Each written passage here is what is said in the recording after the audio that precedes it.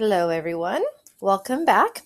And uh, hope you guys are enjoying your battle of the songs. And I'll give my second round of results here in just a moment. First, let's look at our reading notation. Make sure we keep going with reading notation.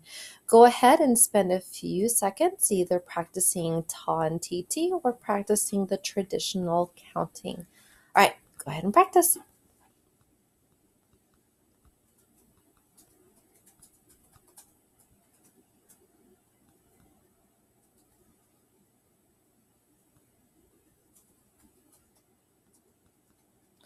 Okay, I'm going to start with the Ti Ti Ta version first. And as usual, if you need to hit pause for a moment, go ahead. And when you're ready, hit play.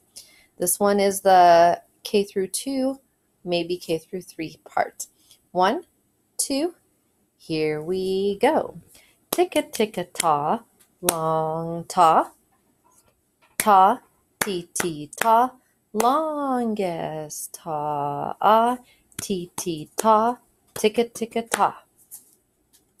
Hopefully that went pretty well and it's getting easier and easier for you. All right, next up, this is part of third grade and definitely all of four through six. Traditional counting. One, two, everybody go. One and a two, three, four. Two, three, and four. One, two, three, four. One and two, three and a four. Hopefully that went pretty well for you. Review if you need to.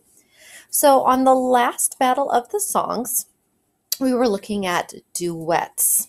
The first round was the solos, and then the second round, Battle of the Songs, was duets.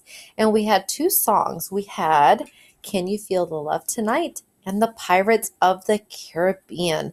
Both of them were great songs. Once again, lots of votes. And thank you to those of you that are remembering to tell me why.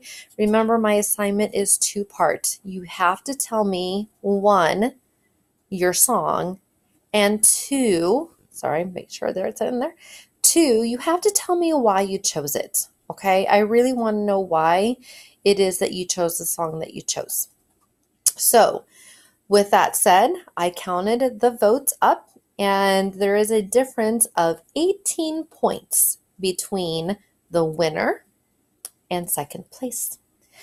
Like I said, both were great songs. I didn't know which way it was going to go. But the winner of round two is, drumroll, Pirates of the Caribbean. So, if you like that one, great. If you voted for that one, that is wonderful. And um, if you voted for the other one, that's great too. They were wonderful, wonderful songs. Well, that was duets. So we've gone from solo to duet, and now we're going to go to a quartet. A quartet is a group of four. Now, this time, it's going to sound different we're going to use different instruments too. I like just to keep changing it up on you guys a little bit. So we're going to have four instruments playing in both of the songs because this week or this particular one is quartets. There will be two links in the description. Link to song one. You'll have to just click to find out what they are and linked song two. I purposely don't say on here because I want you to read the description and give me the answer. So please remember to go to the description at this point, click on each link, watch them both, and remember one, tell me which one that you liked the best. And then two, don't forget to tell me why. I want to know why you like that one. I really hope you like our last round for now I've had some people asking me maybe doing it again towards the end of the year, so that may or may not happen. But our last round for now of Battle of the Songs. As always, ready, set, go.